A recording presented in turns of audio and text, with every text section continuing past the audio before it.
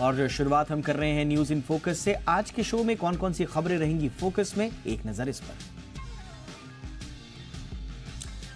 तो यूएई में प्रधानमंत्री नरेंद्र मोदी हैं और वहाँ पर द्विपक्षीय समझौतों पर हस्ताक्षर होने की पूरी संभावना है और साथ ही साथ में प्रधानमंत्री नरेंद्र मोदी यहाँ पर एक मंदिर का उद्घाटन भी करने वाले हैं। वो प्रवासी भारतीयों को भी संबोधित करेंगे। पूरा एक्शन प्रधानमंत्री मोदी के इस दौरे का आपको दिखाएँगे और साथ ही साथ में उसका बारीक विश्लेषण भी करते चलेंगे। आज न्यूज़ इन फोकस में पहली खबर यही रहेगी। साथ ही साथ आज न्यूज़ इन फोकस में बात होगी कवर स्टोरी के तहत पनामा से स्वेज संकट में ट्रेड जी हाँ, एक तरफ़ दुनिया के दो बड़े पॉइंट हैं जो ट्रेड के हैं और वो चोक पॉइंट बन चुके हैं। क्या वहाँ से व्यापार से जुड़ी हुई चिंताएँ हैं? नंबर वन स्वेज दूसरा पनामा है। दोनों जगह पर संकट है, किस तरह का संकट है, आगे विश्लेषण करेंगे और खास मेहमान के साथ करेंगे चर्चा। इसके अलावा किसानों का कूच, दिल्ली का क्या कसूर, इस पर भी बातचीत होगी और किसानों के कूच की क्या अपडेट्स हैं। सरकार कह तो रही है कि हम बातचीत के लिए तैयार हैं, लेकिन क्या किसान नेता इस चीज़ के लिए तैयार हैं? और जो एमएसपी की डिमांड एक बार फिर से उभरी है, उसके क्या कुछ इर्द गिर्द कहानियाँ हैं, सब आपको बताएँगे। और साथ ही साथ बात होगी हमेशा की तरह आपकी सेहत की और एक लेटेस्ट हार्वर्ड की स्टडी बता रही है कि शुगर ड्रिंक से अगर आपको प्यार है तो आप रेगुलर एक्सरसाइज भी अगर करते हैं तो वो भी बेकार हो जाएगी। पूरा विश्लेषण करके आपको बताएँगे आगे शो में न्यूज़ इन फोकस के तहत। हमेशा की तरह आज का हमारा पोल, क्या पनामा और स्वेज रूट में ट्रेड में रुकावटें, भारत की ग्रोथ में असर डालेंगी, यह है आज का हमारा सवाल। हाँ या ना में आपको जवाब देना है। और ये समझने की कोशिश करनी है हम सबको कि क्या वाकई में ये जो वैश्विक व्यापार प्रभावित हो रहा है, लाल सागर से लेकर स्वेज नहर और उधर आपका अमेरिकन, अगर आप उस तरफ़ चले जाएँगे, दक्षिण अमेरिका के पास में जो पनामा नहर है, वहाँ पर क्या जो ताज़े संकट उभरे हैं, उससे भारत का क्या कोई कनेक्शन है? आपका अंदाज़ा क्या है? क्या ये जो दो बड़ी अड़चने आ रही हैं व्यापार में क्या इससे भारत के हित प्रभावित होंगे? हाँ या ना, मैं आपको जवाब देना है। कोई कमेंट हो तो ज़रूर बताइएगा। आगे शो में हम शामिल करेंगे आज के पोल को, आपके कमेंट्स को भी। इसलिए बने रहिए शो के आखिर तक और देखिएगा। चर्चा के बाद पोल के रिजल्ट्स लेकिन उससे पहले फटाफट अंदाज में देख लेते हैं। टॉप न्यूज़ में वो तमाम खबरें जो सुबह से लेकर शाम तक रही सुर्खियों में। प्रधानमंत्री नरेंद्र मोदी का आज यूएई में ग्रैंड वेलकम किया गया। अबू धाबी पहुँचे प्रधानमंत्री नरेंद्र मोदी और संयुक्त अरब अमीरात के राष्ट्रपति Sheikh Mohammed bin Zayed Al Nahyan एक दूसरे से गले मिले। पीएम मोदी को गार्ड ऑफ़ ऑनर दिया गया। इसके बाद प्रधानमंत्री मोदी ने यूएई के राष्ट्रपति Sheikh Mohammed bin Zayed Al Nahyan के साथ व्यापक वार्ता की। दौरे के दौरान पीएम मोदी कल अबुधाबी में पहले हिंदू मंदिर का उद्घाटन भी करेंगे। प्रधानमंत्री नरेंद्र मोदी यूएई के बाद कतर का भी दौरा करेंगे।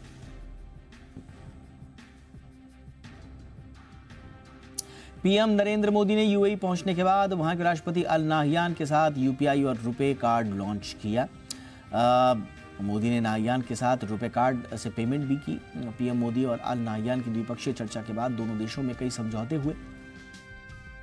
पीएम मोदी ने यूएई पहुँचने के बाद कहा कि उन्हें सात बार यहाँ आने का मौका मिला है। यहाँ आने के बाद लगता है कि अपने घर और परिवार के बीच आया हूँ। पीएम मोदी ने कहा कि राष्ट्रपति अल नाहियान का आभार वो जताते हैं कि आपने वाइब्रेंट गुजरात समिट को नई ऊंचाई भी दी। कांग्रेस को झटका देकर महाराष्ट्र के पूर्व सीएम अशोक चौहान बीजेपी में शामिल हो गए हैं। राज्य के डिप्टी सीएम देवेंद्र फडणवीस की मौजूदगी में अशोक चौहान ने आज बीजेपी का दामन थाम लिया। एक दिन पहले ही अशोक ने कांग्रेस से इस्तीफा दिया था। अशोक चौहान ने कहा कि कांग्रेस में ईमानदारी से काम किया है उन्होंने और अब वो बीजेपी में भी ईमानदारी से काम करेंगे। बीजेपी को मज़बूत करने की वो कोशिश करेंगे। कांग्रेस की पूर्व अध्यक्ष और वरिष्ठ नेता सोनिया गांधी अब राज्यसभा जाएँगी। न्यूज़ एजेंसी एएनआई ने सूत्रों के हवाले से कहा है कि वो कल अपना नामांकन दाखिल कर सकती हैं। उनके साथ राहुल गांधी और कांग्रेस अध्यक्ष मल्लिकार्जुन खड़गे भी रहेंगे। वो किस राज्य से चुनाव लड़ेंगी, इस पर अंतिम फैसला आज रात तक हो जाएगा। माना जा रहा है कि सोनिया गांधी अपनी लोकसभा सीट, अपनी बेटी प्रियंका गांधी वाड्रा को सौंप देंगी। इससे पहले कई मीडिया रिपोर्ट्स में इस मामले से जुड़े लोगों का हवाला देते हुए बताया गया था कि सोनिया गांधी की आगामी राज्यसभा चुनाव लड़ने की संभावना बन रही है। पश्चिम बंगाल के बशीरहाट में पुलिस और बीजेपी कार्यकर्ताओं के बीच जमकर झड़प हुई। इसके बाद प्रदर्शनकारियों को हटाने के लिए पुलिस ने लाठीचार्ज किया। इसमें बीजेपी की कई महिला कार्यकर्ता घायल बताई जा रही हैं। आपको बताएँ कि पश्चिम बंगाल के संदेश खाली में टीएमसी नेता शेख शाहजहां पर महिलाओं ने यौन उत्पीड़न के आरोप लगाए थे, जिसके बाद बीजेपी कार्यकर्ताओं ने बशीरहाट में एसपी ऑफ़िस का घेराव कर प्रदर्शन करने का ऐलान भी किया।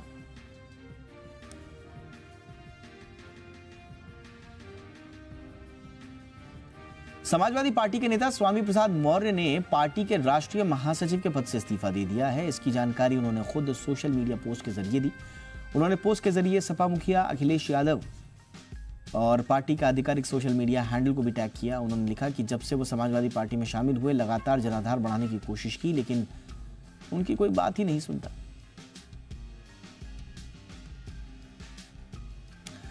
सुप्रीम कोर्ट से राजद नेता तेजस्वी यादव को आज बड़ी राहत मिली है। अपने विवादित बयान को वापस लेने के बाद कोर्ट ने तेजस्वी के खिलाफ मानहानि की शिकायत खारिज कर दी। कोर्ट ने 5 फरवरी को तेजस्वी की याचिका पर अपना आदेश सुरक्षित रख लिया था। तेजस्वी ने कहा कि केवल गुजराती ही ठग हो सकते हैं, इस तरह के बयान उन्होंने दिए थे। हल्द्वानी हिंसा के मुख्य आरोपी को नगर निगम ने 2.4 करोड़ की वसूली का नोटिस भेजा है। बलभूल बनभूलपुरा इलाके में बीते 8 फरवरी को अतिक्रमण हटाने गई प्रशासन और पुलिस की टीम पर पथराव और आगजनी के दौरान नगर निगम और सरकारी संपत्ति का भारी नुकसान हुआ था। इसका आकलन करने के बाद नगर निगम ने मुख्य आरोपी अब्दुल मलिक को नुकसान की भरपाई के लिए वसूली नोटिस जारी किया है। नगर निगम ने आरोपी को 15 फरवरी तक रकम की दो करोड़ पैंतालीस लाख रुपए अदा करने को कहा है। तय समय पर रकम न चुकाने के बाद आरोपी के खिलाफ आगे की कानूनी कार्रवाई की जाएगी। श्रीलंका की नौसेना ने 18 भारतीय मछुआरों को छोड़ दिया है। इन सभी को अपनी जल सीमा का उल्लंघन करने के आरोप में रामनाथपुरम से गिरफ़्तार किया गया था। पिछले महीने की इकतीस तारीख को उन्हें भारतीय उच्चायोग को सौंप दिया गया था। इसके बाद 18 मछुआरे आज सुबह चेन्नई पहुँचे। कोविड जाँच और सभी औपचारिकताओं के बाद उन्हें श्रीलंका की जेल से छोड़ा गया। चेन्नई पहुँचने पर राज्य सरकार ने मछुआरों को उनके घर पहुँचाने के इंतज़ाम किए।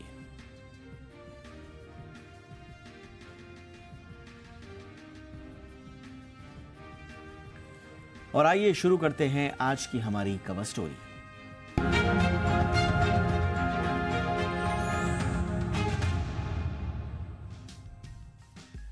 जियो पॉलिटिकल टेंशन और क्लाइमेट चेंज के चलते इंटरनेशनल ट्रेड के एक नहीं, दो दो चोक पॉइंट्स दिख रहे हैं।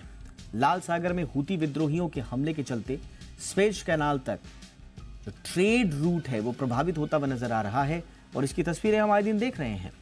जबकि दूसरा अहम ट्रेड रूट यानी कि पनामा में 70 साल के सबसे चिंताजनक सूखे ने पनामा नहर में जहाजों की आवाजाही को बेहद सीमित कर दिया है। दुनिया भर के जानकार इसे ठीक संकेत नहीं मान रहे आज इसी मुद्दे का विश्लेषण करेंगे, समझेंगे कि इससे भारतीय व्यापार पर असर क्या पड़ रहा है और कितना पड़ रहा है, इसकी भी व्यापक पड़ताल हम करेंगे। लेकिन पहले देखिए यह खास रिपोर्ट।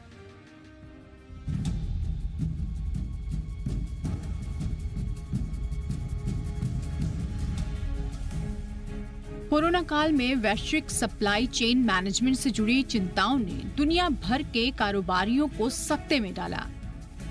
तीन साल बाद एक बार यही चिंताएँ उभर रही हैं, लेकिन इस बार कोई महामारी कारण नहीं है बल्कि इसके पीछे के दो कारण हैं। पहला ग्लोबल कॉन्फ्लिक्ट और दूसरा पर्यावरण से जुड़ी चिंताएँ। आइए सबसे पहले ग्लोबल कॉन्फ्लिक्ट के कारण उभरे समुद्री व्यापार के संकट को समझते हैं। ये इलाका है लाल सागर का, जहाँ हुती विद्रोहियों के लगातार हमलों के कारण इस रूट से जाने वाले कारोबारी जहाजों की आवाजाही प्रभावित हो रही है। फिच ग्रुप की सब्सिडरी इंडिया रेटिंग्स के मुताबिक लाल सागर में दिक्कतों की वजह से इंटरनेशनल ट्रेड से जुड़े कारोबारों की फ्रेट और फॉरवर्डिंग कॉस्ट में 25 से 30 प्रतिशत का इजाफा हो सकता है। इसके अलावा रेटिंग एजेंसी ने वर्किंग कैपिटल साइकिल के भी 15 से 20 दिनों तक गड़बड़ होने की आशंका ज़ाहिर की है। एजेंसी का कहना है कि इससे सबसे ज़्यादा टेक्सटाइल और एग्रीकल्चर इंडस्ट्री की दिक्कतें बढ़ेंगी।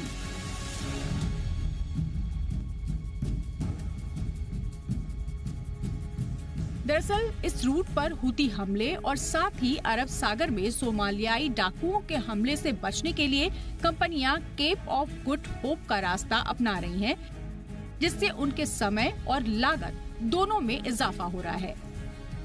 भारत के नज़रिए से ये इसलिए अहम है क्योंकि यूरोप के साथ 80 प्रतिशत भारतीय ट्रेड इसी रूट से होकर जाता है।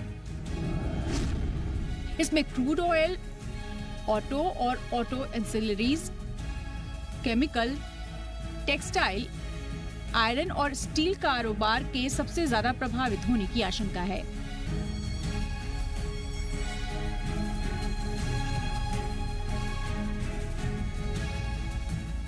दूसरा संकट है पनामा नहर का, जिसकी स्थिति वैश्विक व्यापार को रोक रही है।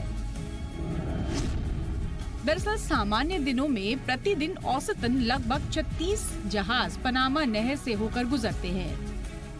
लेकिन इलाके में 70 साल के गंभीर सूखे की वजह से पानी के संकट के कारण फरवरी के लिए जहाजों की दैनिक संख्या घटाकर 18 कर दी गई है। होता यह है कि नहर से गुजरने वाले प्रत्येक जहाज़ के लिए यहाँ लगभग बावन मिलियन गैलन पानी की आवश्यकता होती है, जिसका बड़ा स्रोत गाटुन झील है। लेकिन झील में पानी की कमी के कारण मुश्किल हो रही है और इसीलिए ये कहा जा रहा है कि अगर बारिश नहीं हुई तो यहाँ जहाजों की संख्या में गिरावट जारी रह सकती है।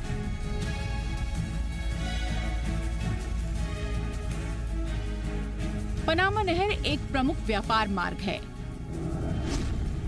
जो अमेरिका के अंदर और बाहर लगभग 14 प्रतिशत समुद्री व्यापार को संभालता है। यदि जहाज़ नहर को छोड़कर दक्षिण अमेरिका का चक्कर लगाते हैं तो इससे कुल समुद्री परिवहन लागत लगभग पाँच प्रतिशत बढ़ जाती है। मैकिनसे का कहना है कि ये लागत सालाना अनुमानित एक दशमलव एक बिलियन डॉलर के बराबर है, जबकि डिलीवरी में 20 प्रतिशत की कमी आई है।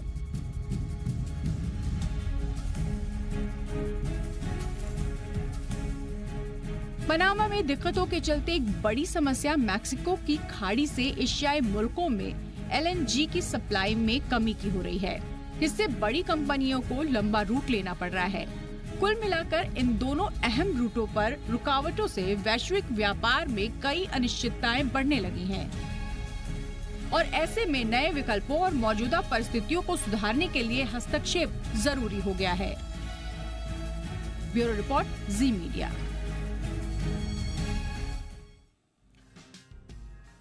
और इस पर हम चर्चा करेंगे आगे, लेकिन इस वक्त हम आपको सीधे अबू धाबी लिए चलते हैं, जहाँ एहलन मोदी कार्यक्रम शुरू हो चुका है और प्रधानमंत्री नरेंद्र मोदी पहुँच चुके हैं प्रवासी भारतीयों के बीच में, और एक भव्य स्वागत उनका हो रहा है। इस्तकबाल प्रधानमंत्री नरेंद्र मोदी का किया जा रहा है, और जैसा आज उन्होंने अबूधाबी पहुँचने पर कहा कि उन्हें ऐसा लग रहा है कि वो अपने परिवार के बीच, अपनों के बीच पहुँचे हैं।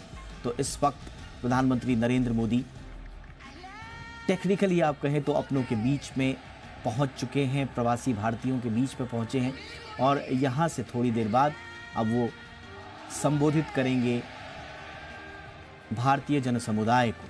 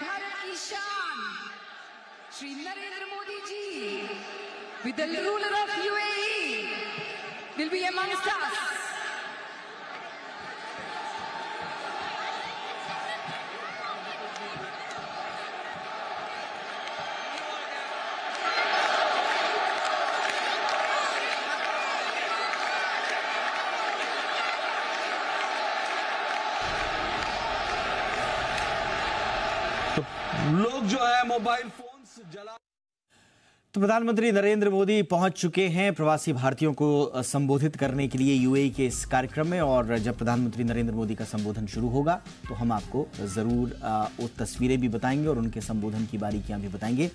फ़िलहाल आज का जो हमारी कवर स्टोरी है, यानी कि स्वेज नहर से लेकर पनामा नहर तक, ये जो एक ट्रेड का संकट उत्पन्न हुआ है, दो कारण इसके पीछे बड़े महत्वपूर्ण है। जैसा हमने रिपोर्ट में भी आपको बताया, पहला, एक ह्यूमन कॉन्फ्लिक्ट जो उभरी है पूरे पश्चिमी एशिया में और उसकी वजह से आ, हमको जो देखने को मिला है लाल सागर में हूती विद्रोहियों का जो आक्रमण है उसकी वजह से जो ट्रेड रूट प्रभावित हुआ है नंबर वन और दूसरा जो क्लाइमेट चेंज की वजह से पनामा नहर में जो पानी कम हो रहा है उसकी वजह से जो डेली जहाज़ों की आवाजाही कम की गई है या सीमित की गई है ये दो रूट बड़े इंपॉर्टेंट हैं। तो क्या इससे इम्पैक्ट पड़ रहा है। भारत पर वैश्विक व्यापार पर इस पर चर्चा करने के लिए हमारे साथ खास मेहमान जुड़ चुके हैं। हमारे साथ हैं कोमोडोर अनिल जय सिंह रिटायर्ड हैं। वाइस प्रेसिडेंट हैं इंडिया मैरीटाइम फाउंडेशन के। कोमोडोर सिंह बहुत बहुत स्वागत है सर आपका। आ, पहला सवाल तो हमारा यही है सर कि ये जो लाल सागर में सबसे पहले मैं आऊँगा लाल सागर में हौदी विद्रोहियों का अटैक और साथ ही साथ अरब सागर के मुहाने तक अगर आप चले जाएँगे तो वहाँ पर सोमालियाई डाकुओं का अटैक इससे भारतीय व्यापार कितना प्रभावित होता हुआ नज़र आ रहा है, सर? तो लाल सागर में से विश्व का 12 प्रतिशत व्यापार गुजरता है। उसमें से काफ़ी बड़ी तादाद में भारतीय व्यापार भी वहाँ से गुजरता है। हमारा जितना व्यापार है यूरोप के साथ और अमेरिका के साथ, वो सब सुएज कैनाल से होके लाल सागर से आता और जाता है। तो लाल सागर से जो जहाज़ अब हो गए क्योंकि हूती हमले जहाज़ों के ऊपर जो कर रहे हैं, हूती यमन से उन लोगों ने उसकी वजह से जो जहाज़ हैं वो केप ऑफ़ गुड होप से आते हैं। पूरे अफ्रीका के नीचे तक जाते हैं और नीचे से घूम के वापस ऊपर आते हैं। इससे करीब 6000 से 8000 किलोमीटर उनको आ, उनका रास्ता बढ़ गया है डिस्टेंस और करीब आठ नौ दिन अब ज़्यादा लगते हैं उनको अपनी जगह अपने पोर्ट में अपने बंदरगाह में पहुँचने के लिए। इसकी वजह से दो चीज़ें होती हैं। पहली बात तो आपका सामान आपको समय पे नहीं मिलता है। उसकी एक दिक्कत आती है। और दिक्कत यह है कि उससे खर्चा बहुत बढ़ता है क्योंकि अब उन्हीं जहाज़ों को 8000 किलोमीटर एक्स्ट्रा आना है 12 दिन और लगेंगे उनको आने में। इससे जो है हमारे व्यापार पे धीरे धीरे इसका असर हम दुनिया में देखेंगे। हाँ, न सिर्फ़ हमारे व्यापार पे फ़र्क पड़ेगा पर सारे विश्व के व्यापार पे फ़र्क पड़ेगा। आजकल जो है दुनिया इतनी इंटरकनेक्टेड हो गई है कि कोई एक देश अकेला नहीं बोल सकता कि मेरा नुकसान हो रहा है मेरा फ़ायदा हो रहा है। अगर कोई भी बाधा आती है व्यापार में व्यापार के यातायात में तो उसका असर हर एक देश पे पड़ता है। और क्योंकि हर एक देश पे पड़ता है तो हर एक देश की वजह से दूसरे देश पे पड़ता है। तो अभी तक तो हमने देखा नहीं है इसका क्योंकि धीरे धीरे इसका असर हमको मालूम पड़ेगा। जैसे जैसे ये दिक्कत बढ़ती जाएगी और अगर ये जो हमले हैं ये चलते रहे तो। आ, सर लाल सागर से मैं थोड़ा सा अब पनामा नहर की तरफ़ चलना चाहूँगा। और कहा यह जा रहा है कि बड़ा इंपॉर्टेंट रूट था जो क्लाइमेट चेंज की वजह से अब प्रभावित हो रहा है। जहाज़ों की जो आवाजाही है, उसको सीमित किया जा रहा है। आधे से भी कम जहाज़ रह गए। संकट ये है कि अगर बारिश नहीं हुई, पानी की समस्या बरकरार रही तो शायद और जहाज़ों को कम करना पड़ेगा। उससे वैश्विक व्यापार पर क्या असर आप देख रहे हैं? पनामा नहर वाला जो इलाका है, वहाँ। ये भी एक और बहुत गंभीर स्थिति है। पनामा कनाल से करीब चौदह पंद्रह हज़ार जहाज़ हर साल गुजरते हैं और रोज के जो 38 जहाज़ गुजरते थे, अब उन्होंने उसका नंबर उसको कम करके 24 को 24 जहाज़ अलाउड हैं अभी आने रोज के। वो होने 18 होने वाले थे, पर क्योंकि अभी थोड़ी बरसात हुई है वहाँ पे तो थोड़ा पानी आ गया है तो उन्होंने 24 पे उस पर रोक लगाई हुई है। क्योंकि पनामा कनाल का जो कंस्ट्रक्शन है, वो अलग है। वहाँ पे वो ऊंचाई पे जाना पड़ता है तो इसकी वजह से पानी की ज़रूरत पड़ती है जहाज़ों को ऊपर तक उठाने के लिए, और फिर जहाज़ उतरते हैं। इसके लिए करीब, कई कई मिलियन टन पानी चाहिए होता है। और क्योंकि पनामा में अभी पानी की कमी हो रही है तो इसकी वजह से जहाज़ कम है।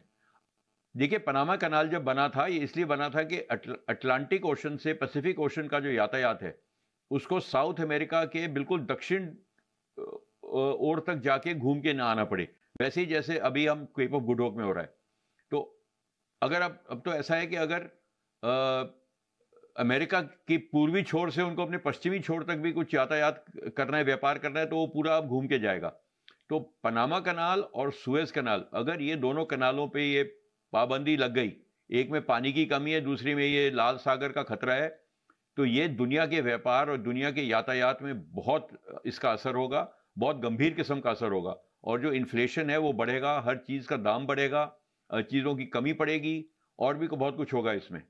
तो ये अब हमको देखना है कि किस तरह ये दोनों दोनों जो ये स्थिति हैं, एक साथ आ रही हैं, इनको कैसे संभाला जाए।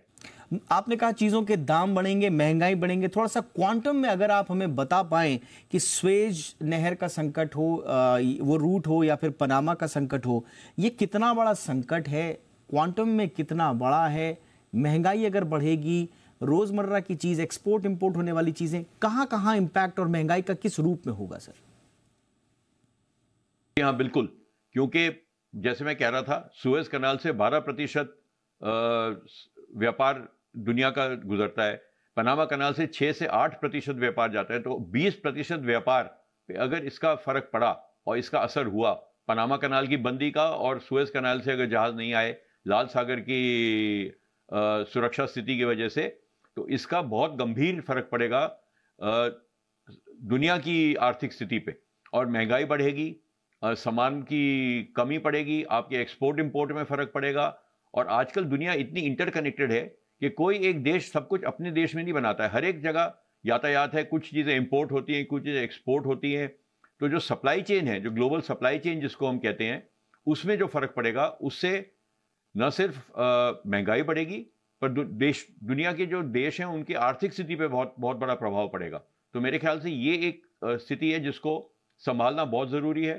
दुनिया को इसका ध्यान रखना है कि ये इसको कैसे बचाया जाए ये पनामा कनाल, खैर, वहाँ तो पानी की दिक्कत है तो वहाँ तो कुछ खास कर नहीं सकते अभी। पर सुएज कनाल और लाल सागर की स्थिति को ज़रूर संभाला जा सकता है और दुनिया को इसकी तरफ़ पूरा अपना ज़ोर लगाना पड़ेगा। अमेरिका, यूके वगैरह वो ऑर्डर, उनके उनके युद्ध पोत वहाँ पे हैं। हूती हमले से बचा रहे हैं। पर जब तक ये इसराइल गाज़ा और हमस वगैरह का चलता रहेगा, ये भी चलता रहेगा। और इसकी वजह से एक और एक और स्थिति पैदा हो गई है। जो सोमाली की, सोमालिया से जो पायरेसी होती थी, जो 2008 और 2013 के बीच में जिसने पूरे संसारिक यातायात का, को फ़र्क पड़ा था, वो फिर शुरू हो गई है। और इसमें भारतीय नौसेना एक बहुत अव्वल रोल भाग ले रही है। बारह भारतीय नौसेना के बड़े जहाज़, वो यही देख रहे हैं कि यहाँ पे कोई खतरा ना हो और यातायात आराम से गुजरे बिना किसी खतरे के अपने डेस्टिनेशन पे, टाइम पे पहुँचे। ऑलरेडी इन्होंने मेरे ख्याल से पंद्रह या अट्ठारह हाईजैकिंग के अटेम्प्ट्स सक्सेसफुली फॉल किए हैं। एक जहाज़ के ऊपर आपको याद होगा, एक ड्रोन का अटैक हुआ था। उस हमले को भी, उस जहाज़ को बचा के बम्बई तक लाए थे, उसको वहाँ रिपेयर किया और फिर वो आगे गया। तो ये हर एक नौसेना का की की की एक ड्यूटी होती है, एक रोल होता है कि शिपिंग शिपिंग को सेफली एक जगह से दूसरी जगह जाए और हिंद महासागर और लाल सागर में भारतीय नौसेना अपना रोल प्ले करेगी, क्योंकि उससे हमारे, हम न सिर्फ़ दुनिया के यातायात को फ़र्क पड़ता है, पर हमारे व्यापार को उसका फ़र्क पड़ता है। तो ये जो चीज़ें हैं, इनको अभी संभालना बहुत ज़रूरी है। ये स्थिति को इस तरीके से ये ज़्यादा दिन चल नहीं सकती है और देखना पड़ेगा कि आगे देश क्या कर सकते हैं कि व्यापार और यातायात बिना किसी अड़चन के चलता रहे। क्या कर सकते हैं आपने कहा? मेरा सवाल यही है कि हम क्या कर सकते हैं? जैसा हम जान रहे हैं कि लाल सागर में ये पूरा ये ह्यूमन कॉन्फ्लिक्ट है और आपने दुरुस्त फरमाया कि पनामा की साइड में जो है ये एक एनवायरमेंटल क्राइसिस है। और भारत दोनों ही क्षेत्रों में मुखरता से कह, कहता रहा है कि न ये युद्ध का काल है न कॉन्फ्लिक्ट्स का काल है। और पर्यावरण के इश्यूज़ पर भी भारत बड़ी मुखरता से कहता रहा है कि भविष्य जो है वो पर्यावरण ओरिएंटेड होना चाहिए। तो आप देख रहे हैं कि इन दोनों संकटों को उभारने में भारत छोटी या बड़ी महत्वपूर्ण या कम महत्व की भूमिका निभा सकता है? देखिए भारत ने क्लाइमेट चेंज में दुनिया में एक लीडिंग रोल लिया है। हमने कई कई इनिशिएटिव लिए हैं। हमारे ग्रीन हाइड्रोजन इनिशिएटिव है, हमारा इंटरनेशनल सोलर अलायंस है। तो हम डायरेक्टली शायद, चाहे पनामा कनाल में कुछ ना कर पाए, पर अगर क्लाइमेट चेंज क्लाइमेट चेंज का जो अभी असर है, वो इरिवर्सिबल है। वो रोका नहीं जा सकता है। पर आप उसको कम कर सकते हैं। अगर आप अच्छी तरह अपनी अपनी इन्वायरमेंटल कंडीशंस ठीक बनाएँ दुनिया में तो उससे आप जो अभी स्थिति है, उसको आप रोक सकते हैं जहाँ पे है। इसका असर तो अभी भी रहेगा, पर कम होएगा। भारत ने एक आगे, एक बहुत लीडिंग रोल लिया है इसमें, पर कितना बाकी दुनिया कितना उसको सपोर्ट करती है, हम सुनते रहते हैं कि कॉप 28 कॉप 27 ये सब कॉन्फ्रेंसेज होती हैं, पर उसके बाद हम देखते हैं कि जो टारगेट सेट होते हैं, वो टारगेट वो मीट नहीं कर पाते हैं। भारत कोशिश कर रहा है कि अपनी तरफ़ से जितना वो कर सकता है, इसके बारे में करे। क्लाइमेट चेंज में तो हमको जितना कर सकते हैं, कर रहे हैं। जहाँ तक ये सुरक्षा स्थिति है, इसमें भी हम कोशिश कर रहे हैं कि जितना हम, जितना भारतीय नौसेना इसमें योगदान दे सकती है, उतना दे रही है। जैसे मैंने कहा, हमारे बड़े, बारह बड़े योधपोत अभी इसी कार्य में लगे हुए हैं कि जो लाल सागर से जो जहाज़ निकलते हैं, उसके बाद उनके यातायात में कोई अड़चन ना आए। बहुत बहुत शुक्रिया सर इस तमाम जानकारी के लिए कोमोडो अनिल जय सिंह और इसी के साथ अब वक्त हो चला है आज के पोल्स के रिज़ल्ट जानने का। हमने आपसे सीधा सीधा सवाल पूछा था कि ये जो दोनों इलाकों में एक वैश्विक व्यापार संकट उत्पन्न हुआ है, क्या इससे भारतीय हित प्रभावित होंगे? हाँ या ना, में आपको जवाब देना था और देखिए, ज़्यादातर लोग ये मान रहे हैं और यही है चर्चा का विषय। अस्सी फ़ीसदी से ज़्यादा लोग मान रहे हैं कि हाँ प्रभावित होंगे। नहीं कहने वाले 20 फ़ीसदी से कम, उन्नीस दशमलव छः फ़ीसदी के आसपास हैं। और देखिए, यही है, अब इसमें भारत के कोई बहुत ज़्यादा हस्तक्षेप मुमकिन हो, ऐसा मुमकिन नज़र नहीं आता, जैसे सर ने बताया। लेकिन हाँ क्योंकि ये अकेले भारत की चिंताएँ नहीं हैं, ये पूरे विश्व की चिंताएँ होनी चाहिए। इसलिए भारत के सहयोग से, भारत के एक्टिव पार्टिसिपेशन से ये पूरे विश्व का मुद्दा होकर और फिर पूरे विश्व को इस मुद्दे को सुलझाने के लिए हाथ से हाथ, कंधे से कंधा मिलाकर काम करना होगा। यही समझ में आता है, वरना हमारे हित भी प्रभावित हो सकते हैं। ये है आज के पोल का रिज़ल्ट। तो ये थी आज की हमारी कवर स्टोरी बिज़नेस जगत की तमाम खबरें फटाफट अंदाज में। टाटा मोटर्स ने अपनी इलेक्ट्रिक कारों के दाम घटा दिए हैं। देश में ऐसा पहली बार हो रहा है जब किसी कंपनी ने अपनी ई कार्स की कीमतों में कटौती की है। टाटा मोटर्स की ईवी यूनिट ने आज बताया कि वो अपनी नेक्सॉन और टियागो ईवी की कीमत एक लाख बीस हज़ार रुपये तक कम कर रही है। कंपनी ने बताया कि इन कारों के निर्माण में उपयोग की जाने वाली बैटरी की कीमतों में मामूली गिरावट आई है और कंपनी ने इसका फ़ायदा अपने कस्टमर्स को देने का फैसला किया है। जनवरी महीने में गाड़ियों की रिटेल बिक्री सालाना आधार पर 15 परसेंट बढ़कर इक्कीस लाख तीस हज़ार यूनिट रही। पिछले साल जनवरी महीने में गाड़ियों की कुल रिटेल बिक्री अट्ठारह लाख पचास हज़ार यूनिट रही थी। इस दौरान सभी कैटेगरीज, यानी कि two wheelers three wheelers passenger vehicles, tractors और कमर्शियल व्हीकल्स की बिक्री में शानदार ग्रोथ देखने को मिली। सालाना आधार पर पैसेंजर व्हीकल्स की बिक्री तेरह परसेंट टू व्हीलर्स की बिक्री पंद्रह परसेंट थ्री व्हीलर्स की बिक्री सैंतीस परसेंट बढ़ी। जनवरी महीने में ट्रैक्टर की रिटेल बिक्री में इक्कीस परसेंट का उछाल देखने को मिला। अदानी हिंडनबर्ग मामले में सेबी की जाँच को मंजूरी देने वाले सुप्रीम कोर्ट के फैसले के खिलाफ आज एक रिव्यू पिटिशन यानी कि समीक्षा याचिका दायर की गई।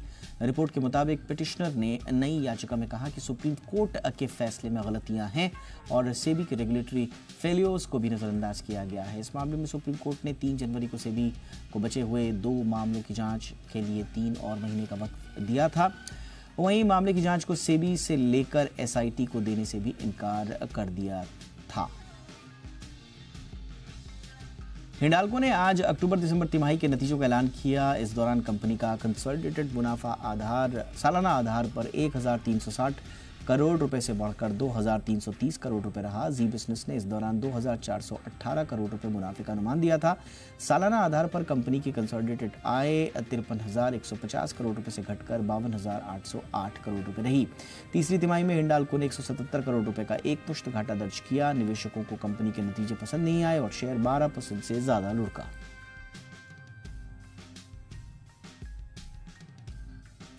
आयशर मोटर्स ने भी आज अपने अक्टूबर दिसंबर तिमाही नतीजों का ऐलान कर दिया। इस दौरान सालाना आधार पर कंपनी का मुनाफा 34 परसेंट बढ़कर नौ सौ छियानबे करोड़ रुपए रहा। जी बिज़नेस ने इस दौरान 970 करोड़ रुपए के मुनाफे का अनुमान दिया था। कंपनी की कंसोलिडेटेड आय 3,721 करोड़ रुपए से बढ़कर चार करोड़ रुपए रही।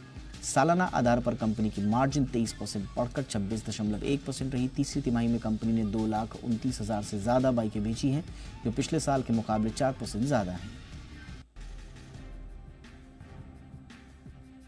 बंद हो चुकी एयरलाइन कंपनी गो फ़र्स्ट की कॉर्पोरेट इंसॉल्वेंसी रिजोल्यूशन प्रोसेस को एनसीएलटी ने 60 दिनों के लिए बढ़ा दिया है। एनसीएलटी ने आज इसकी डेट आगे तब खिसकाई जब इसे बताया गया कि तीन पार्टियों ने गो फ़र्स्ट को खरीदने में दिलचस्पी दिखाई है।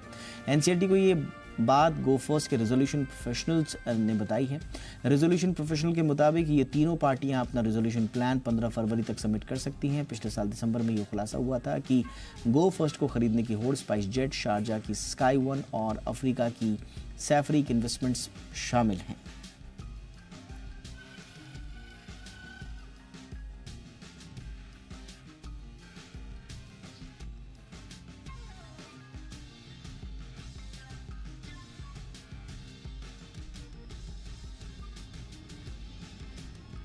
और आइए अब आपको सीधे लिए चलते हैं अबू धाबी, जहाँ प्रधानमंत्री नरेंद्र मोदी इस वक्त प्रवासी भारतीयों के बीच में अपनी बात रखने के लिए पहुँच चुके हैं।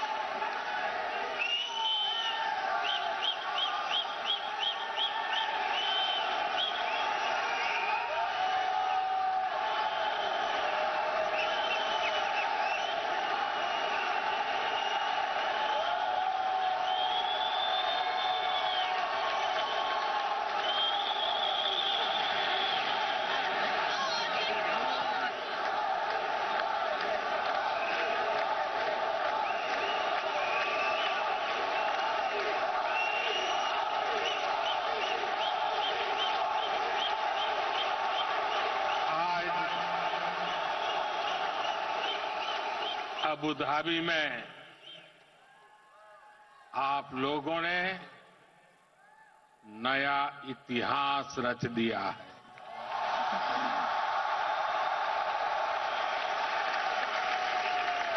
आप लोग यूएई के कोने कोने से आए हैं। और भारत के भी अलग अलग राज्यों से आए हैं। लेकिन सबके दिल जुड़े हुए हैं। इस ऐतिहासिक स्टेडियम में हर धड़कन कह रही है, भारत यूएई दोस्ती जिंदाबाद। हर सांस कह रही है, भारत यूएई दोस्ती जिंदाबाद।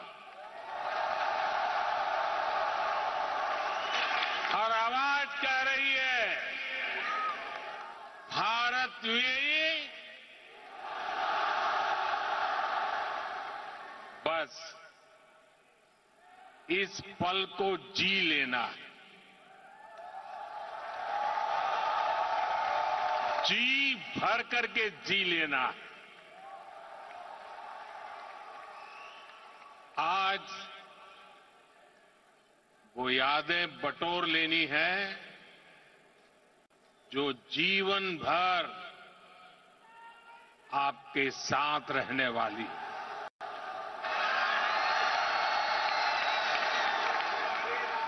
जो यादें जीवन भर मेरे साथ भी रहने वाली।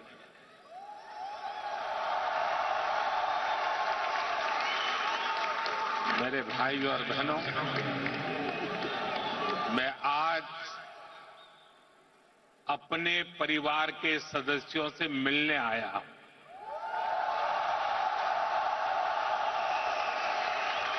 समंदर पार जिस देश की मिट्टी में आपने जन्म लिया।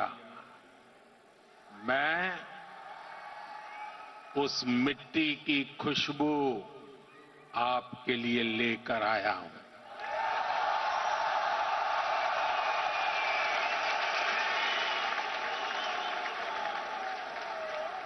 मैं संदेश लेकर आया हूँ आपके 140 करोड़ भारतीय भाई बहनों का।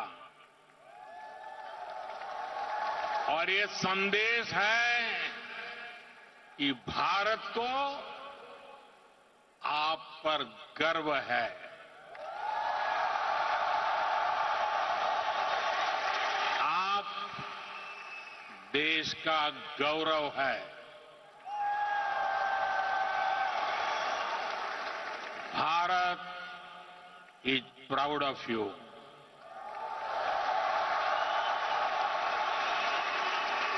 भारतम निगंडय अर्थ अभिमानिकुन्नो उंगलई पार्तो भारतम पेरूमई पड़गिरडो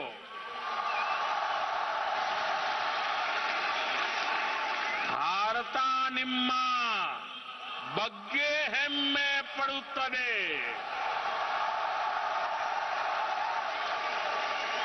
మీపై భారతదేశం గర్విస్తోంది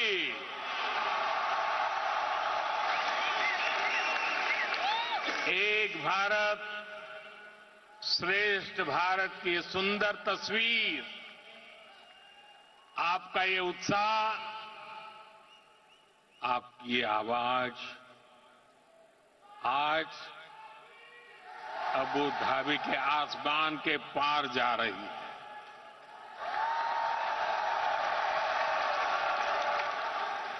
मेरे लिए इतना स्नेह, इतना आशीर्वाद ये अभिभूत करने वाला है आप समय निकालकर यहाँ आए। मैं आपका बहुत बहुत आभारी हूँ।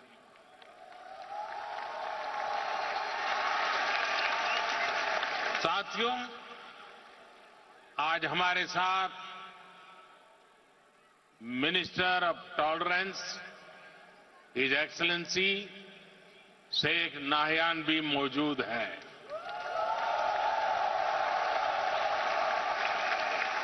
वो भारतीय समुदाय के अच्छे मित्र और शुभचिंतक है। भारतीय समुदाय के प्रति उनका स्नेह सराहनीय है। आज इस शानदार आयोजन के लिए मैं अपने brother his highness Sheikh Mohammed bin Zayed ji का भी आभार व्यक्त करता हूँ। गर्मजोशी भरा ये समारोह उनके सहयोग के बिना संभव नहीं था।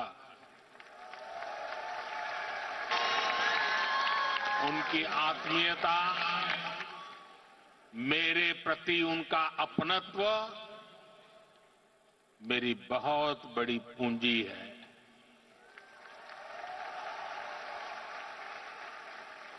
मुझे 2015 की अपनी वो पहली यात्रा याद है, तब मुझे केंद्र सरकार में आए, बहुत अरसा नहीं बीता। तीन दशक के बाद किसी भारतीय पीएम की ये पहली यूएई यात्रा थी।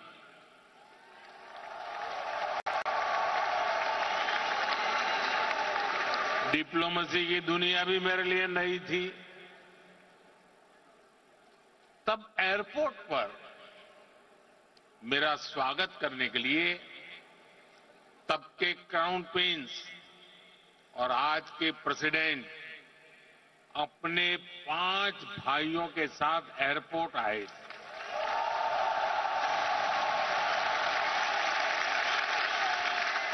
वो गर्मजोशी उन सभी की आँखों में, वो चमक मैं कभी भी भूल नहीं सकता। उस पहली मुलाकात में ही मुझे ऐसा लगा जैसे मैं किसी अपने करीबी के घर आया वो भी एक परिवार की तरह मेरा सत्कार कर रहे थे। लेकिन साथियों, वो सत्कार सिर्फ़ मेरा नहीं था। सत्कार, वो स्वागत 140 करोड़ भारतीयों का था। वो सत्कार यहाँ यूएई में रहने वाले प्रत्येक भारतीय का था।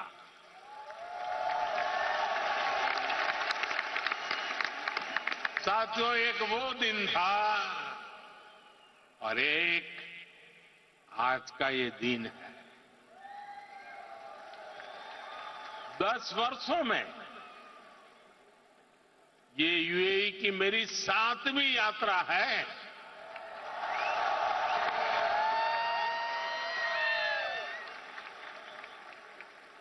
Brother Sheikh Mohammed bin Zayed, आज भी मुझे एयरपोर्ट पर रिसीव करने आए थे। उनकी गर्मजोशी वही थी। उनका अपनापन वही था। और यही बात उन्हें खास बना देती है। साथियों, मुझे खुशी है कि हमें भी चार बार भारत में उनका स्वागत करने का अवसर मिला है। कुछ दिन पहले ही वो गुजरात आए थे, तब वहाँ लाखों लोग उनका आभार व्यक्त करने के लिए सड़क के दोनों तरफ़ जमा हो गए थे। आप जानते हैं कि आभार किस लिए?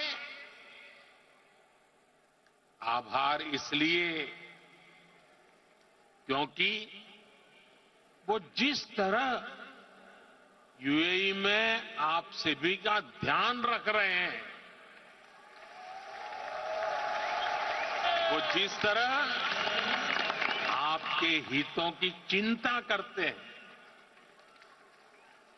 वैसा कम ही देखने को मिलता है। इसलिए उन्हें धन्यवाद बोलने के लिए वो सारे लोग घरों से बाहर निकल आए थे।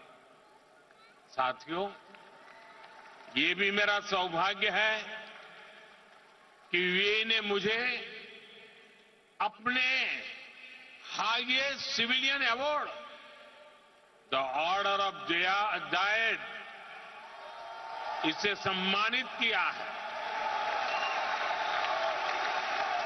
ये सम्मान भी सिर्फ़ मेरा नहीं है, बल्कि करोड़ों भारतवासियों का सम्मान है। आप सभी का सम्मान है। मैं जब भी मेरे brother Sheikh Mohammed bin Zayed से मिलता हूँ तो वो आप सभी भारतीयों की बहुत प्रशंसा करते हैं।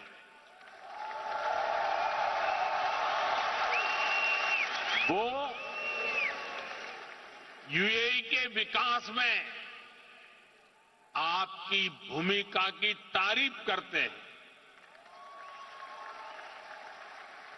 इस जायद स्टेडियम से भी भारतीयों के पसीने की खुशबू आती है। मुझे खुशी है कि हमारे अमीरात के साथियों ने भारतीयों को अपने दिल में जगह दिए अपने सुख दुख का साझेदार बनाया है। समय के साथ ये रिश्ता दिनों दिन और मज़बूत होता जा रहा है और इसमें भी brother Sheikh Mohammed bin Zayed की बड़ी भूमिका। आपके प्रति वो कितनी संवेदनशीलता से भरे हुए हैं, वो मुझे कोविड के दौरान भी दिखा। तब मैंने उन्हें कहा था कि हम भारतीयों को वापस लाने की व्यवस्था कर रहे हैं। लेकिन उन्होंने मुझे बोल दिया कि मैं बिल्कुल चिंता न करूँ। उन्होंने यहाँ भारतीयों के इलाज के लिए, वैक्सीनेशन के लिए हर तरह के इंतज़ाम किए। उनके यहाँ रहते मुझे वाकई कोई चिंता करनी भी नहीं पड़ी। मैं आप सबके प्रति उनका ये असीम प्रेम हर पल अनुभवता हूँ। और इतना ही नहीं, जब साल 2015 में उनके सामने आप सबकी ओर से यहाँ अबू धाबी में एक मंदिर का प्रस्ताव रखा तो वो तुरंत एक पल भी गंवाए बिना उन्होंने हा कह दिया।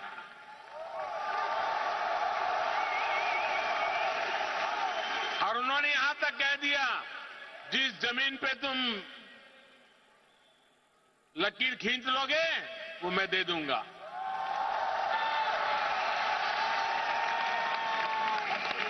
और अब अबू धाबी में ये भव्य दिव्य मंदिर के लोकार्पण का ऐतिहासिक समय आ गया है। साथियों, भारत यूएई की दोस्ती जितनी ज़मीन पर मज़बूत है, उतना ही उसका परचम अंतरिक्ष में भी लहरा रहा है मैं इंटरनेशनल स्पेस स्टेशन में छह महीने बिताने वाले पहले अमीरात के एस्ट्रोनॉट सुल्तान अल नयादी को भारत की तरफ़ से बधाई देता हूँ। उन्होंने इंटरनेशनल योगा डे और इंडिपेंडेंस डे पर भारत को स्पेस से शुभकामनाएँ भेजी।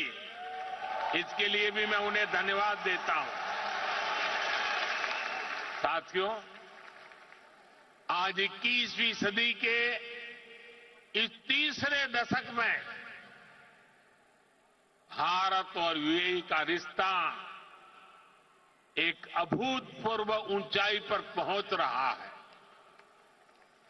हम एक दूसरे की प्रोग्रेस में पार्टनर है।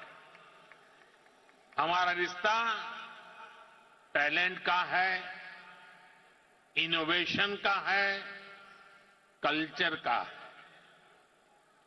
बीते समय में हमने हर दिशा में अपने संबंधों को नई ऊर्जा दी है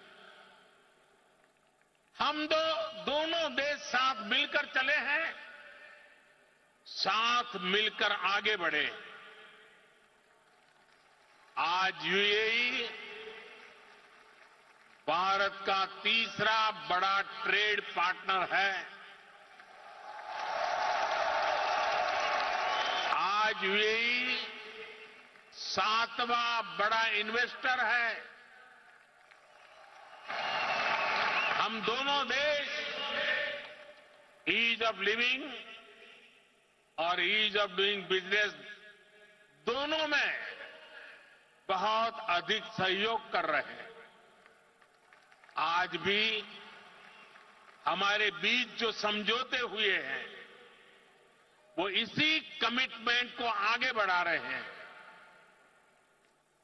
हम अपने फाइनेंशियल सिस्टम को इंटीग्रेट कर रहे हैं।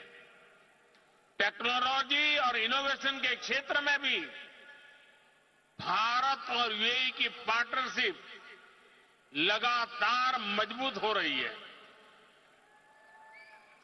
साथियों कम्युनिटी और कल्चर के संबंधों के मामले में तो भारत यूएई ने जो हासिल किया है वो दुनिया के लिए एक मॉडल है। भाषाओं के स्तर पर दोनों देशों में कितनी नजदीकी है, ये भी मैं अपने अमीरात के साथियों को ज़रूर बताना चाहता हूँ। मैं अरबी में कुछ वाक्य बोलने का प्रयास कर रहा हूँ। अल हिंद बल इमारात बी कलम अल जमान बल किताब दुनिया नकुत्व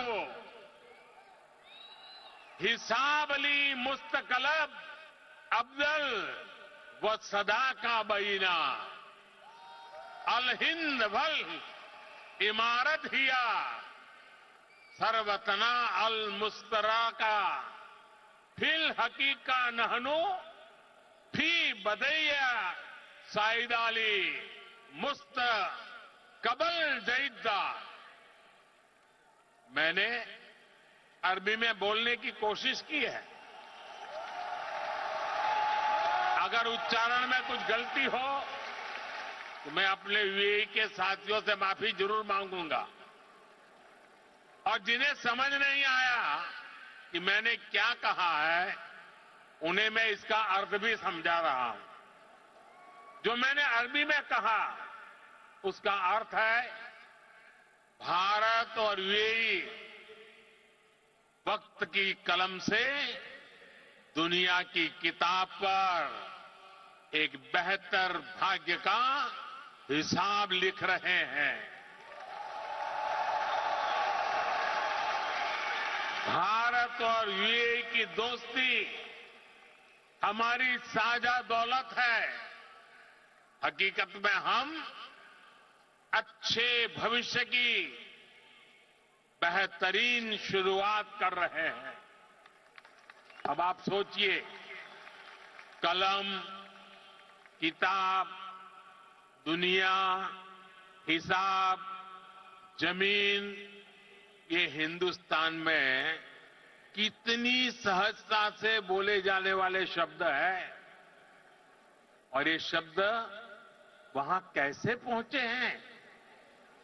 यहाँ गल्फ के इस क्षेत्र से। हम दोनों देशों का नाता सैकड़ों हज़ारों वर्ष का तो हज़ारों वर्ष का। और भारत की कामना है ये ऐसे ही दिनों दिन और मज़बूत होता रहे। साथियों, मुझे बताया गया कि यहाँ स्टेडियम में इस वक्त सैकड़ों की संख्या में स्टूडेंट्स भी आए हैं।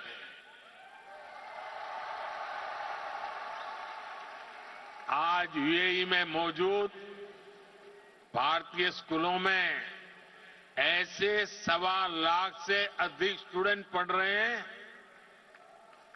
ये युवा साथी भारत यूएई की समृद्धि के सारथी बनने जा रहे हैं।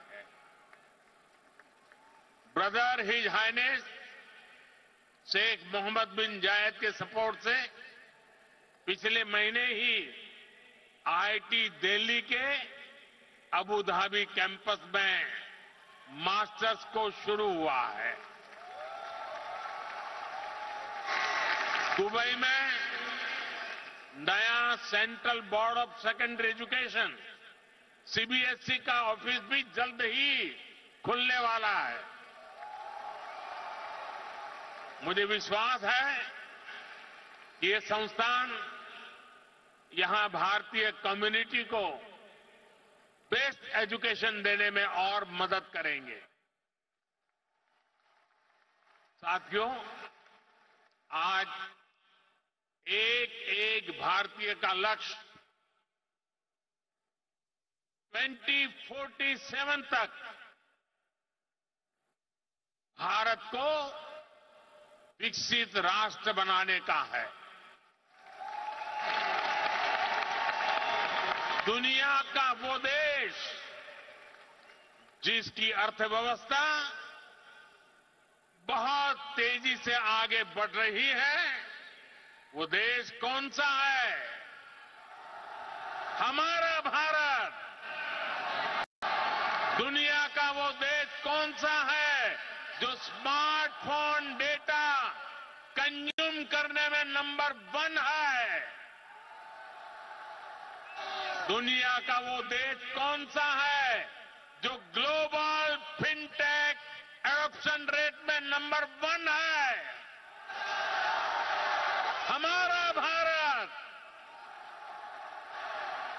दुनिया का वो देश कौन सा है जहाँ सबसे ज़्यादा मिल्क प्रोडक्शन होता है हमारा भारत दुनिया का वो देश कौन सा है जहाँ इंटरनेट यूज़र्स के मामले में नंबर दो पर है? हमारा भारत। दुनिया का वो देश कौन सा है जो दुनिया का दूसरा सबसे बड़ा मोबाइल मैन्युफैक्चरर है? हमारा भारत। दुनिया का वो देश कौन सा है जहाँ दुनिया का तीसरा सबसे बड़ा स्टार्टअप इकोसिस्टम है? हमारा भारत। दुनिया का वो देश कौन सा है जो अपने पहले ही प्रयास में मंगल तक पहुँच गया? हमारा भारत। दुनिया का वो देश कौन सा है जिसने चंद्रमा के साउथ पोल पर अपना झंडा गाड़ दिया है? हमारा भारत दुनिया का वो कौन सा देश है जो एक बार में सौ सौ सैटेलाइट भेजने का रिकॉर्ड बना रहा है? हमारा भारत, दुनिया का वो कौन सा देश है जिसने अपने दम पर 5G टेक्नोलॉजी विकसित करके सबसे तेज रोल आउट किया है? हमारा भारत। साथियों, भारत की उपलब्धि, हर भारतीय की उपलब्धि है फिर 10 साल में भारत दुनिया की ग्यारहवें नंबर की इकोनॉमी से पाँचवें नंबर की इकोनॉमी बन गया है। और आप जानते हैं, मुझे हर भारतीय के सामर्थ्य पर कितना ज़्यादा भरोसा है, इसी भरोसे के दम पर मोदी ने एक गारंटी भी दी है। मोदी की गारंटी आप जानते हैं। मोदी ने अपने तीसरे टर्म में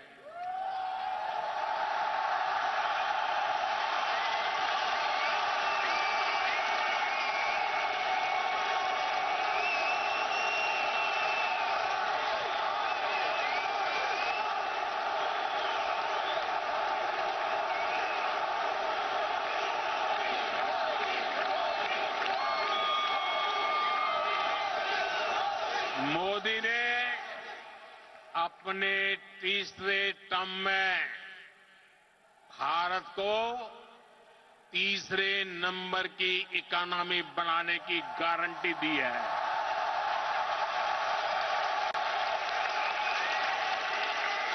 और मोदी की गारंटी यानी गारंटी पूरा होने की गारंटी।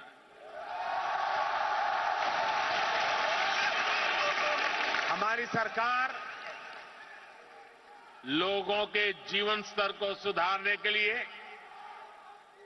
उनकी परेशानियाँ कम करने के लिए लगातार काम कर रही है। हमने चार करोड़ से ज़्यादा परिवारों को पक्का घर बनाकर दिया है। हमने 10 करोड़ से ज़्यादा परिवारों को नल से जल का कनेक्शन दिया है। हमने 50 करोड़ से ज़्यादा लोगों को बैंकिंग सिस्टम से जोड़ा है। हमने 50 करोड़ से ज़्यादा लोगों को पाँच लाख रुपए तक के मुफ़्त इलाज की सुविधा दी है।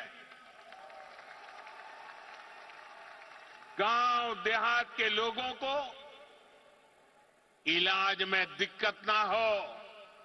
इसके लिए हमने डेढ़ लाख से ज़्यादा आयुष्मान आरोग्य मंदिर बनवाए हैं। साथियों, आप में से जो लोग बीते दिनों भारत गए, वो जानते हैं कि आज भारत में कितनी तेज़ी से बदलाव आ रहा है। आज भारत एक से बढ़कर एक आधुनिक एक्सप्रेस वे बना रहा है। आज भारत एक से बढ़कर एक नए एयरपोर्ट बनवा रहा है। आज भारत एक से बढ़कर एक नए रेलवे स्टेशन बनवा रहा है। आज भारत की पहचान, नए आइडियाज़, नए इनोवेशंस की वजह से बन रही है। आज भारत की पहचान मेगा इंफ्रास्ट्रक्चर प्रोजेक्ट से बन रही है। आज भारत की पहचान एक वाइब्रेंट टूरिज़्म डेस्टिनेशन के रूप में बन रही है।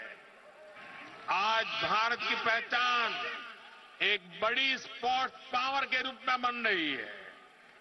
और आपको सुनकर गर्व होता है, ज़रूर होता होगा। होता है ना? साथियों आप सभी भारत में आई डिजिटल क्रांति को जानते हैं। डिजिटल इंडिया की प्रशंसा पूरी दुनिया में हो रही है। इसका लाभ यूएई में बसे आप सभी साथियों के भी हो। इसके लिए हम प्रयास कर रहे हैं। हमने यूएई के साथ अपने रुपे कार्ड स्टैक को शेयर किया है।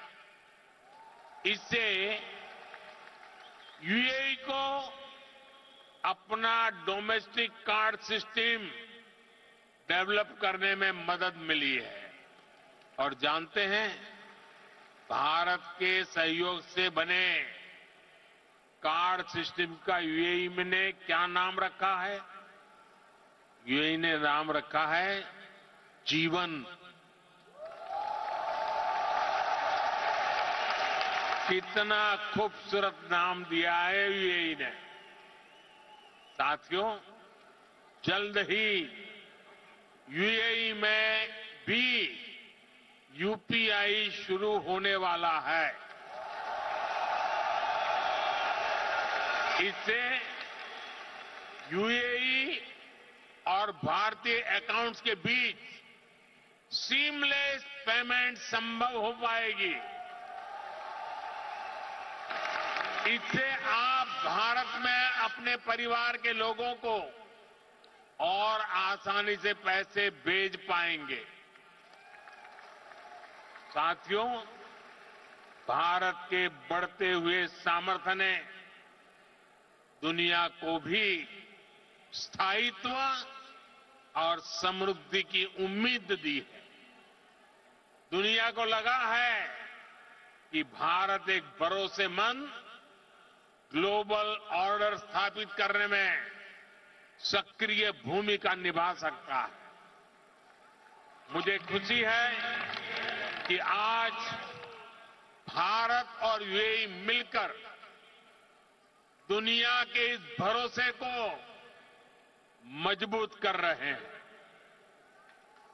आप सभी ने भी देखा कि भारत ने एक बहुत ही सफल जी ट्वेंटी सम्मेलन आयोजित किया है। इसमें भी हमने यूएई को एक पार्टनर के रूप में आमंत्रित किया।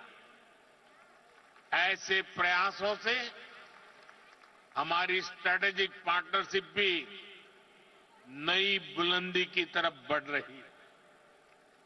आज भारत को दुनिया एक विश्व बंधु के रूप में देख रही है। आज दुनिया के हर बड़े मंच पर भारत की आवाज़ सुनी जाती है। कहीं भी संकट आता है तो सबसे पहले पहुँचने वाले देशों में भारत का भी नाम होता है। आज का मज़बूत भारत कदम कदम पर अपने लोगों के साथ खड़ा है। बीते दस वर्षों में आपने देखा है कि जहाँ भी विदेशों में बसे भारतीयों को समस्या आई, भारत सरकार ने तेज़ी से एक्शन लिया है। यूक्रेन, सूडान, यमन और दूसरे संकटों के दौरान फंसे हज़ारों भारतीयों को हम सुरक्षित निकालकर भारत लाए।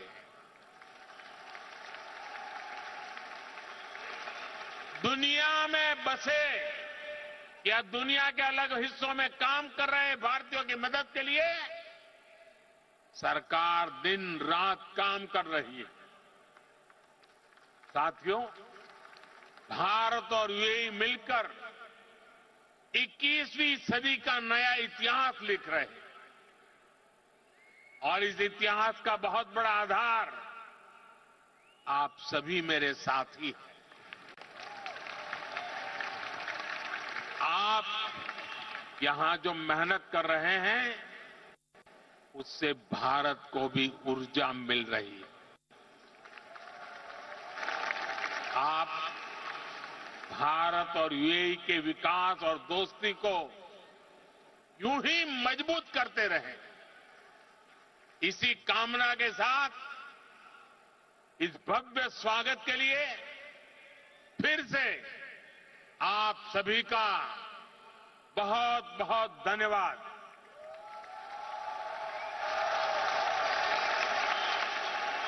मेरे साथ बोले, भारत माता की, भारत माता की, भारत माता की।